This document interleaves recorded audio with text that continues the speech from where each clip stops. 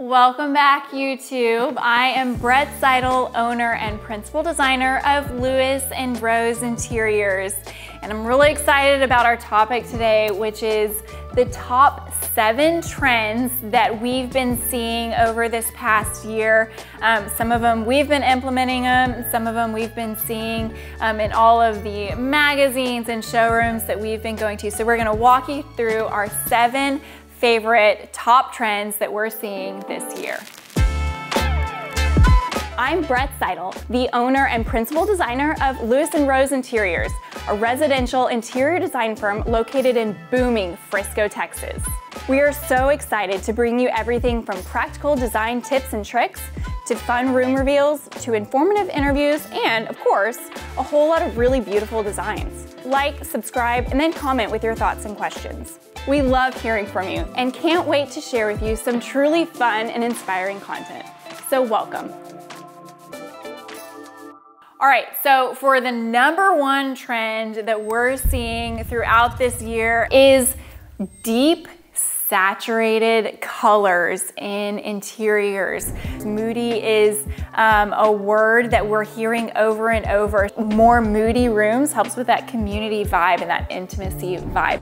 We're seeing lots of dark grays, dark blues. We're seeing a lot of dark rusts, oranges, warmer colors, um, plums. We just recently uh, did a proposal to do a deep plum bathroom that we were stoked about.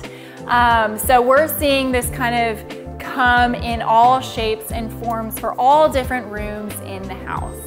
All right, so for the second biggest trend that we're seeing, um, you know, the first one was talking about colors. This one is actually in regards to colors as well, and that is the use of monochromatic color schemes. And so that doesn't necessarily mean that it's like all um, white, or all of the brights, it can be all dark colors, like um, really a scheme that is all within the same shade. So we're seeing this a lot where we're having like white walls and then cream sofas and um, a little bit creamier light grays on the rugs. And so it's when you walk in a space and there's not one or two or three specific bold colors popping out. It's where everything is within the same tone, whether that's dark tones, light tones, or medium tones.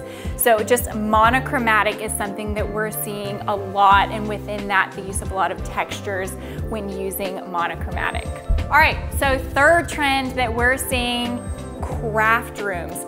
This has become a huge trend right now, whereas last year the kind of room specific trend was home offices and um, she sheds was actually a big trend last year, but this year we're really moving into craft rooms. We're getting asked um, whether they're small or big, we've kind of had both, but those really specific rooms for those DIYers, the See, I, I, don't even know how to say "cry cut cricket." You guys are probably gonna correct me in the comments. Um, for all of the sewing and embroidery and all of those things, just really intricate, detailed rooms and a place that moms can go and have all of that in their separate kind of mom space.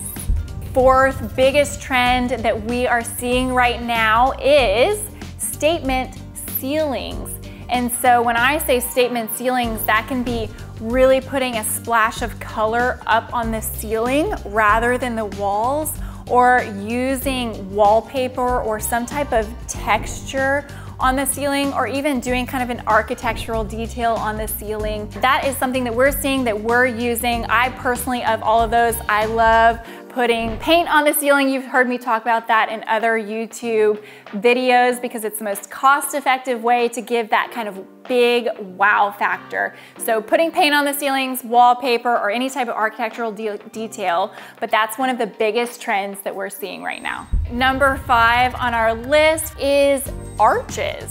I love that this has become a trend because with a lot of the um, new build construction that's going on, it's all very modern and specific and harsh lines. And so what we're compensating with is seeing really soft arches. And so we're seeing these a lot in kind of secondary walkways. And what I mean by secondary is like a walkway into a primary bedroom or a walkway into a pantry. It's just a way to kind of give that little bitty extra um, detail in a really simple way. So arches is something that we're seeing and we love implementing right now as well.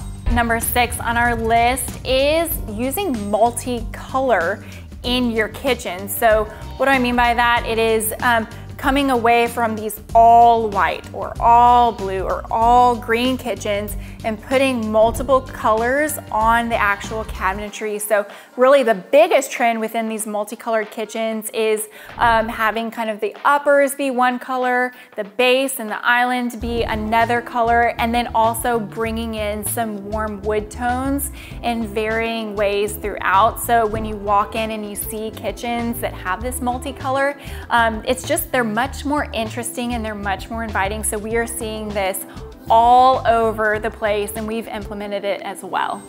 All right, the last one in our top seven trends, and this is the one that if my mom watches this, she's gonna, she is going to text me or call me immediately and be like, I told you so. And that is the return to traditional it's not exactly what you think. The idea of returning to this um, maximalism, right? So we, we really came out of that from 70s, 80s, 90s with like really furniture was heavy and big and oversized and all the things, the colors, everything about it was big and oversized.